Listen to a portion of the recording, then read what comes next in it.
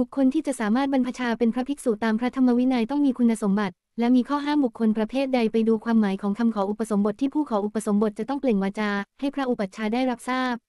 1. กุดอถัง โรคเรื้อน นัตถิพันเต ไม่เป็นขอรับ 2. คันโท โรคฝี นัตถิพันเต ไม่เป็นขอรับ 3. กีลาโส โรคกลาก นัตถิพันเต ไม่เป็นขอรับ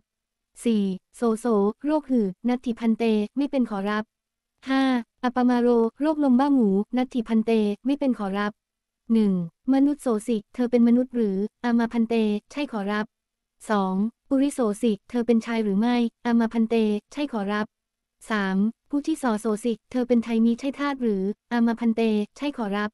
4. อนาโนสิก เธอไม่มีหนี้หรือ อามาพันเต ใช่ขอรับ 5. นสิราชพเอตเธอไม่ใช่ราดักหรือ อามาพันเต ใช่ขอรับ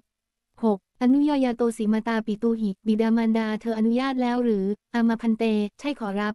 7. ปริปุณณวีสติวัตโสสิ เธออายุครบ 20 ปีแล้วหรือ อามาพันเต ใช่ขอรับ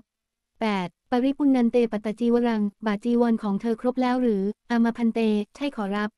ซึ่งทุกวันนี้ข้อกำหนดบางอย่างอาจได้รับการผ่อนปลนจากพระอุปัชฌาย์เพื่อความสบายใจของบุพการีผู้ขอ อุปสมบทและพระบูชาได้พิจารณาแล้วจะไม่ก่อให้เกิดปัญหาในระหว่างครองเพศบรรพชิตของผู้ขอบรรพชานั้น ก็จะทำการบรรพชาให้